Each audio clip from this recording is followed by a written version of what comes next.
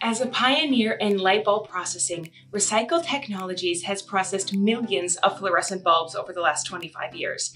This requires a special processing machine, and there are fewer than 30 of them in the United States. Processing recycled bulbs is necessary for the health of our planet. So let's take two minutes to take a look at how that's done. The bulbs are placed on a conveyor belt and move through two different drums to break the glass into small uniform pieces. The materials then go to a feed belt, which transfers all materials to a spinning trommel chamber. The trommel separates the mercury powder, glass, and aluminum end caps. The glass is sorted and collected in a super sack, and the aluminum end caps are diverted to a large container. Any mercury powder that falls through the trommel is collected for further processing. Most importantly, the machine is a negative air pressure system, so all mercury vapor is continuously sucked into a baghouse filter system for containment. We test the air quality three times a day to ensure our system is functioning properly, because keeping the mercury contained and out of the air is of the utmost importance. We are stringently and frequently inspected and monitored by various agencies, including the EPA, MPCA, DNR, and state, county, and independent auditors. Records of our inspections are always available upon request.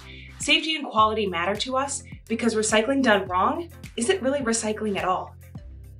Once we've sorted the materials, they move on to our pre-approved downstream vendors. The aluminum end caps are recycled the way you would a pop or soup can, and the glass is sent to a downstream vendor to be repurposed. The mercury powder, the stuff that makes these bulbs so tricky to dispose of, is sent to a retort facility for reprocessing. When we say the powder is sent for retort, what we mean is the powder is heated up to a temperature that causes the mercury found in the powder to turn into a gas.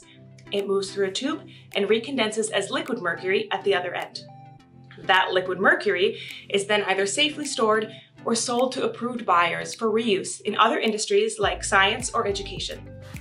By finding ways to recycle or reuse all materials in each light bulb, we are able to follow through on our zero landfill pledge.